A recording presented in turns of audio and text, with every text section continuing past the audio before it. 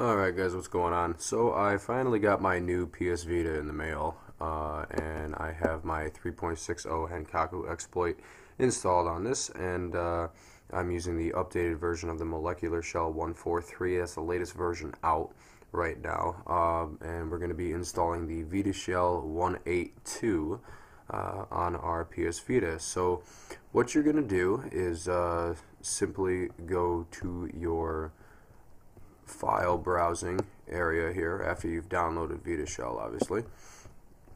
And if you haven't already just right click and hit add new network location and what you're going to do is you're just going to follow through this wizard uh, and open up the molecular shell on your Vita and uh, hit select while you're inside to open up your um, or to activate your FTP server. And then you're going to say choose custom location here type in the FTP there and then eventually you will have your own server here and now what I'm going to do is I'm going to access my UX0 files and I'm just going to take this VPK of uh, Vita Shell right here and copy that over to the memory stick root of my PS Vita. Once I've done that, I'm just going to go ahead and exit this and uh, now we can go over to the PS Vita which I'm going to actually try and remote play with my PS3 and capture it with my Elgato so I want to see if this works. If it does that'll be pretty cool. Okay, well, I just found out that I kind of need a PlayStation TV in order to stream this to my uh, channel. Alright, you fool. Turn back on. There we go. So, uh, anyways, so after you exit your FTP client server, what you're going to do is you're just going to come here and boot up your molecular shell. And I'm just going to start that there.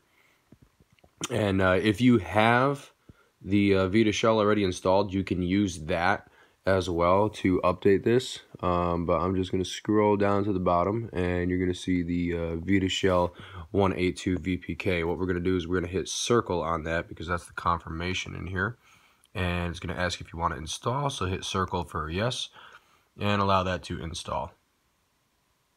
And then uh, this package uses functions that remounts partitions and can potentially brick your device if you do not obtain it from a trusted source which I got this from directly from the flow so this isn't a bad file. And this file that I have is going to be in the link uh, in a link description below so you can grab the same file I got.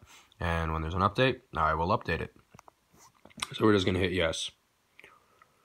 And that's it. So we're installed. So now what we can do is we can exit this, swipe that over, scroll down, and you should see your Vita shell pop up. So we'll start that up.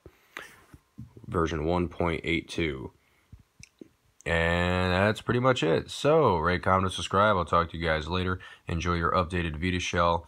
And, uh, yeah, so I'm going to work on getting a uh, streamer for this because I'm really tired from holding this camera already. And it's only been two minutes, so... but yeah, so I'll talk to you guys later. And I got some more homebrew videos for the PS Vita coming, as well as the uh, Henkaku Enso uh, 3.65 custom firmware. But I need to get another PS Vita for that because I'd rather have both instead of one. Because once you go to that, you can't go back. So, talk to you guys later.